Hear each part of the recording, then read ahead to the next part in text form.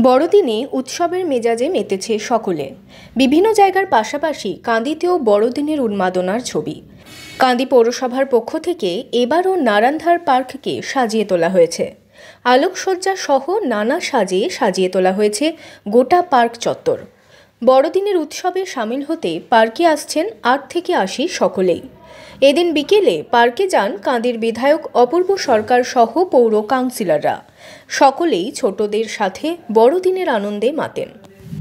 এই নারান্ধার পার্কে আমরা প্রতিবার আসি, সাজাই এই জায়গাটাকে এবং বাচ্চাদের কেক, চকলেট, এখানকার কাউন্সিলর, এখানকার সবাই আমরা সান্তা ক্লজ হিসাবে আমরা উপস্থিত হই। চেষ্টা করি বাচ্চাদের কিছুটা আনন্দ দানের মধ্যে। তাই আমরা এখানে আসি বড়দিনটাকে উদযাপন করতে।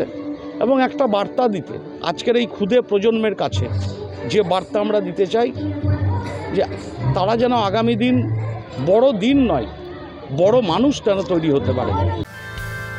মধ্যবঙ্গের সমস্ত খবরের দ্রুত আপডেট পেতে সাবস্ক্রাইব করুন আমাদের ইউটিউব চ্যানেল মধ্যবঙ্গ নিউজ। সমস্ত খবরের দ্রুত নোটিফিকেশন পেতে বেল আইকনে ক্লিক করুন।